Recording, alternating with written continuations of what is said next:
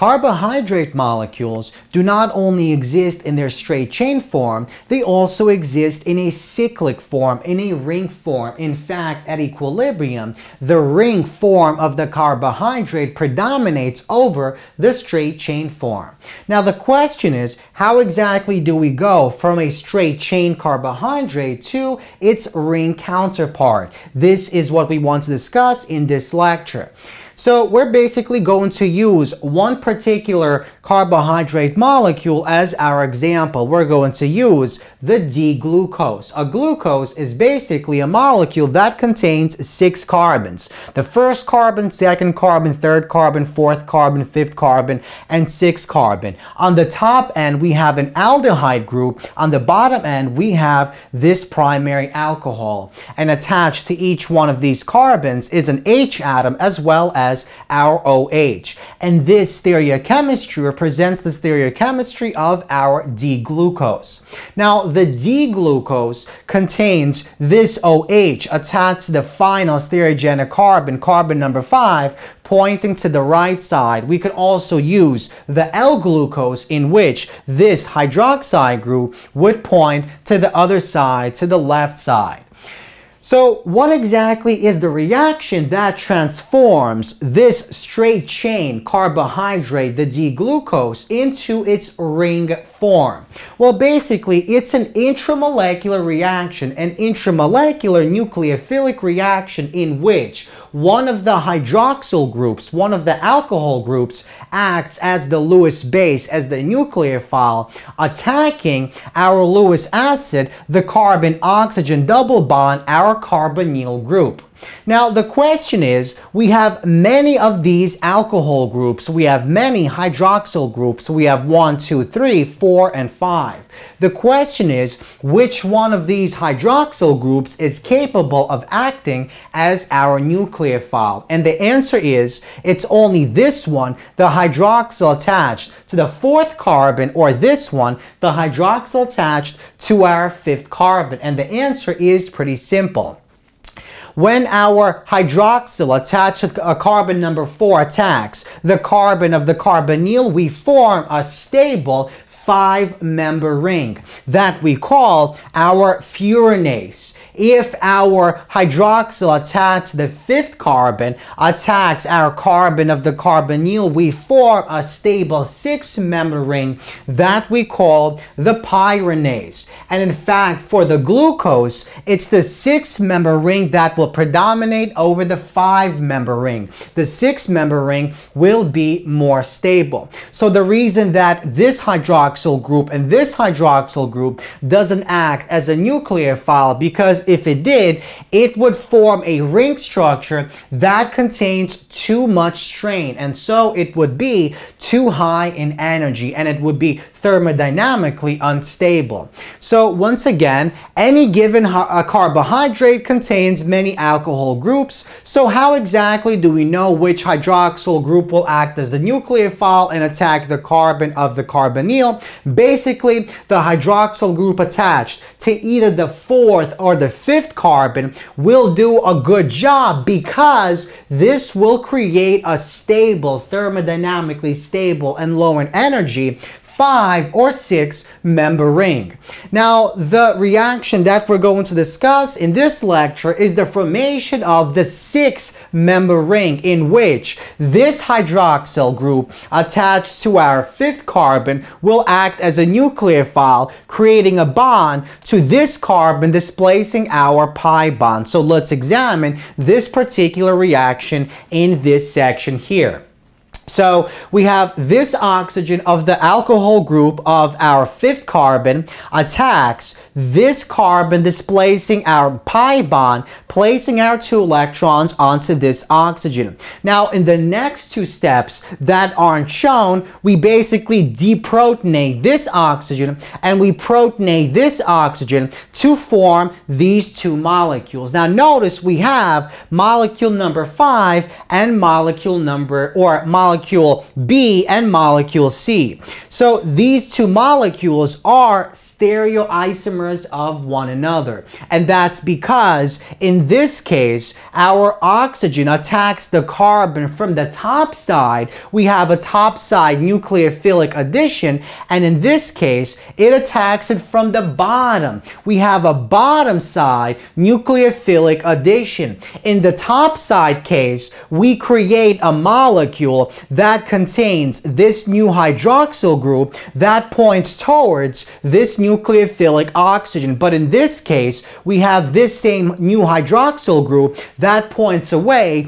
from this nucleophilic oxygen. So basically the bond formed between the oxygen and the carbon is shown in blue. And this oxygen is basically protonated to form this new uh, hydroxyl group. So the hydroxyl group can attack the carbonyl from either the top or the bottom and this produces two different structures and their relationship with respect to one another is the So we call these two molecules anomers. One is an alpha anomer and the other one is a beta anomer. The alpha anomer is the molecule that contains our hydroxyl group pointing towards our oxygen. So this is the alpha anomer of D-glucose, while this is the beta anomer of D-glucose.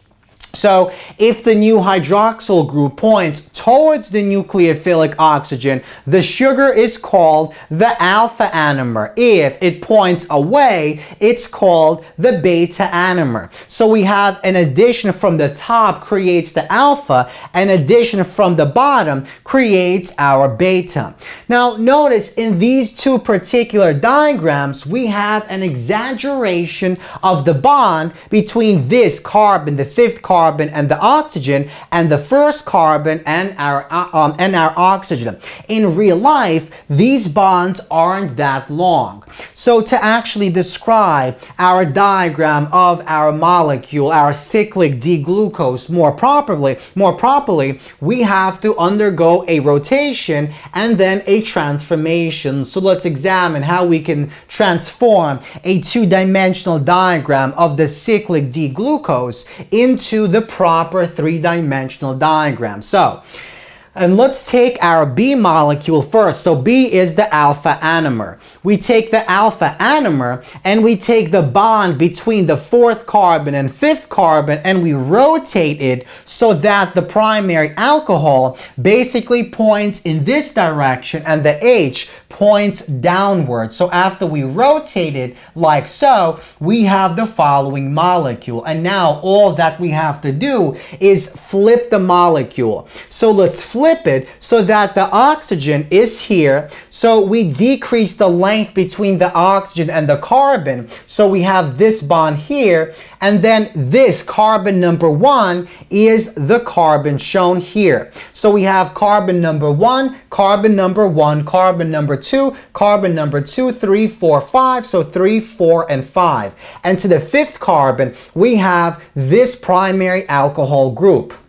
Now notice all these groups are pointing up. So the primary group is pointing up our H will point up, the OH will point up, our H here will point up, and the H here will also point up, while all these other groups basically point down. So the new hydroxyl group that is formed, this is our hemiacetal and this is our hydroxide group, it points downward in the opposite direction of our primary alcohol. So another way that we can define an alpha anomer is is a molecule in which this new hydroxyl group points in the opposite direction of the primary alcohol. Now, in the case of molecule C, our beta anomer, we follow the same exact procedure. We rotate the bond between carbon 4 and carbon 5 to produce our primary that once again points upward and the H points downward. And now notice when we flip it so that our oxygen is shown here, this is our bond here.